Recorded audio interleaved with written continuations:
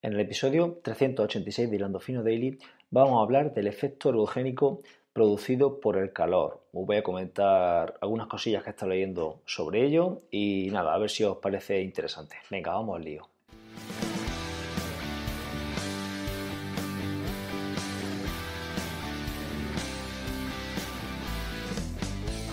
Buenos días, tarde o noche familia. Bienvenido al episodio 386 de Hilando Fino Daily, el lugar donde expreso todo aquello que se me va pasando por la cabeza sobre el deporte en general y el triatlón en particular. Hoy es viernes 13 de septiembre de 2019 y como siempre te animo a entrar en hilandofino.net. Si entras en el apartado del podcast privado vais a encontrar un episodio que he publicado hoy acerca de la termorregulación en el deporte de resistencia. Bueno, en ese episodio eh, hablo de los mecanismos de termorregulación, la termogénesis, termólisis, lo que ocurre en cada deporte eh, relacionado con este tema, la redistribución del gasto cardíaco y la deriva cardíaca, porque se produce, la aclimatación al calor y bueno, ese tipo de cosas. Y bueno, y después de haber estado eh, leyendo bastante esta semana sobre este tema y demás, y una, y una clase que he visto también del curso de trail running, que es la, que me, la, clase que me apoyo para, para, comentar todo en este episodio, pues me ha salido el, el, tema del episodio de hoy, que es sobre el efecto ergogénico del calor. Y bueno, y antes de entrar en materia también, os quiero eh, comentar que hemos publicado esta mañana el episodio 93 de Triatlón y otras drogas. Y bueno, en este episodio Edu me entrevista a mí, así que bueno, si queréis escuchar la entrevista, pues eh, meterlo ahí en el episodio 93 y le podéis echar una oreja a eso. Bueno, eh, ¿existe el, efecto ergogénico este producido por el calor?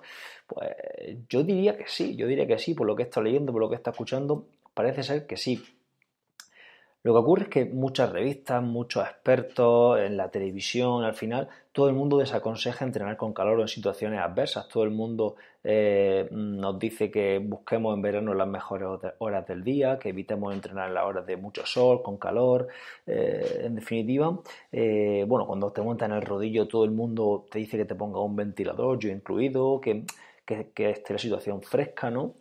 Y bueno, y al final eh, todo esto está muy bien, pero imagínate que va a competir a Hawái con una situación de humedad muy alta, con una situación, de calor muy alta, pues al final eh, tendrás que acostumbrarte a esas situaciones, ¿no? Y digo Hawái, pues como podría decir cualquier otro triatlón que se dispute cerca del mar o, o, que sepas que va a correr con mucho calor, ¿no? Tendremos que prepararnos para esas situaciones, digo yo, y, y entrenar a nuestro organismo para ello. Y bueno, os dejo un estudio que, se realizó sobre, sobre bueno, ciclistas y mm, el estudio consistía en 11 días de, entrenamiento eh, con calor, ¿vale? Eh, las situaciones de calor eran 40 grados de, temperatura y una humedad del 50%. Y se realizaba entrenamiento de los días 2 al 5, el sexto se hacía un test y luego se hacía eh, entrenamiento del 7 al 10 y se hacía otro test, ¿vale? Para comparar las diferencias y para ver si se ha debido a adaptación al calor.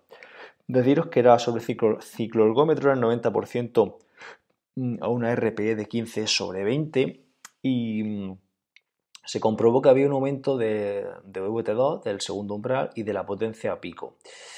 La adaptación al, calor se produce entre los 9, con 9 11 días, estamos ya prácticamente adaptados a esa situación de calor, así que puede ser interesante eh, someternos a ese tipo de entrenamientos, pues según este estudio y algunos más que, que he mirado por ahí. Os lo dejo adjuntado por si queréis echarle un, vistacillo.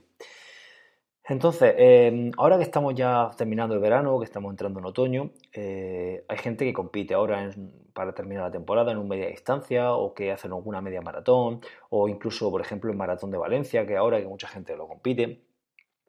Pues eh, si has entrenado durante todo el verano en situaciones de calor, pues realmente tus mecanismos termorregulatorios van a estar más entrenados y van a poder mm, responder mejor en, en, ese tipo de competiciones, porque al final, eh, aunque haga más fresco, aunque haga mejor temperatura, al final esos mecanismos tienen que, tienen que activarse para disipar el calor que se produce por, la contracción muscular y, bueno, en este caso por el calor externo no, pero principalmente por la contracción muscular, al final estamos sudando siempre, aunque haga algo de fresco, ¿no?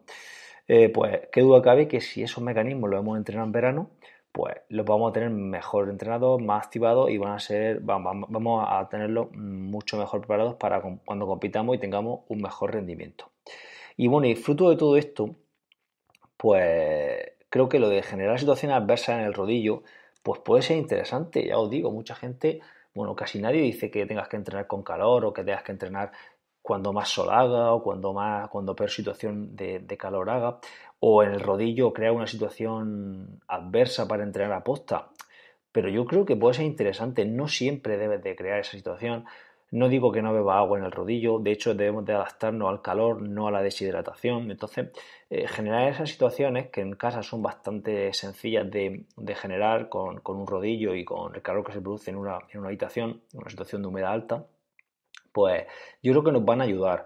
Eh, aquí pues habrá que ver protocolos de, actuación, entrenamientos que podemos hacer en, ese, en, ese, en esas situaciones. Tampoco digo que hagamos entrenamientos duros en esas situaciones, sino que a lo mejor simplemente rodando pues ya es suficiente. Los entrenamientos deben de salir bien, deben de salir con calidad, deben de salir en buenos tiempos para que también mentalmente estemos arriba de moral pero situaciones de, rodaje y ese tipo de cosas sí que se podrían hacer con más calor y no siempre ir huyendo del mismo.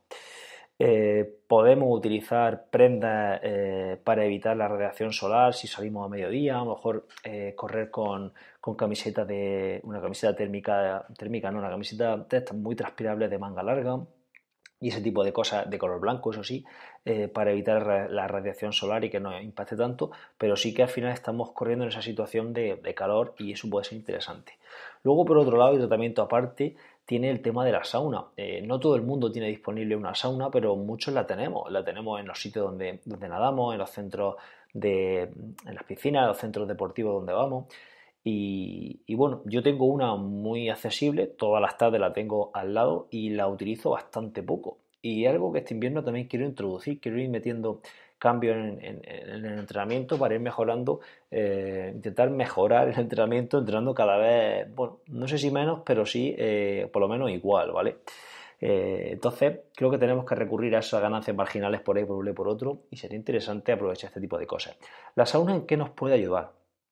Pues he estado leyendo por ahí, tampoco es que me haya, me haya mucho la mente buscando, pero, pero sí que he estado leyendo que en varios sitios que un buen protocolo de, sauna, bueno, debe de ser siempre progresivo, no debemos ir a, meternos la sauna, a, la, sauna el primer día 45 minutos, pero a lo mejor sí podemos coger y, empezar eh, pues un día metiéndonos, eh, no sé, 8 eh, minutos o 10 minutos, nos salimos, descansamos un poco y nos metemos otros 5, el siguiente día 12 eh, descansamos y nos metemos 6, no sé, eh, eso también tampoco creo que haya un protocolo eh, estándar idóneo, sino que cada cual tiene que investigar un poquillo y llevando su progresión en función de cómo se vaya sintiendo, ¿no? Pero mm, si tenéis posibilidad de probar la sauna y de, seguir un, protocolo de a lo mejor 2-3 días a la semana, meterlo a la sauna, pues, oye, podría ser interesante, ¿por qué no? Porque he visto beneficios y parece ser que aumenta el volumen plasmático. se aumenta el volumen plasmático, al final también eh, va a aumentar el, volumen sistólico ¿no? de cada, en, cada, en cada contracción del corazón y todo eso va, a redundar en el gasto cardíaco, eleva el porcentaje de glóbulos rojos, mejora el transporte de oxígeno, eh, todo esto al final se va, a hacer que, el consumo, que el consumo de oxígeno sea en parte mejorado, aumenta la biogénesis mitocondrial, la, la termorregulación también parece ser que la, que la mejora, eleva la hormona del crecimiento.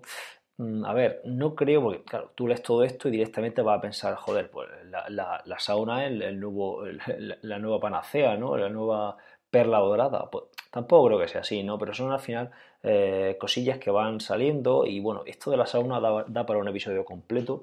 Me lo he anotado ya para, para hacerlo en un futuro y he investigado un poquito más sobre ese tema un poco más en profundidad y, yo creo que puede ser un tema bastante interesante. Bueno, em, os dejo por hoy eh, nueve, minutos de episodio, no os quejaréis, hoy la dosis es pequeña, pero bueno, eh, creo que ha sido interesante el episodio y que por lo menos nos da que pensar en ese tipo de cosas, en el calor y, en cómo poder entrenar mejor en esas situaciones de, de mucho calor y mucha humedad. Muchísimas gracias por estar ahí, muchísimas gracias por vuestras suscripciones, por vuestras valoraciones. Creo que la musiquita de fondo no está sonando, me está fallando bastante la aplicación, en fin.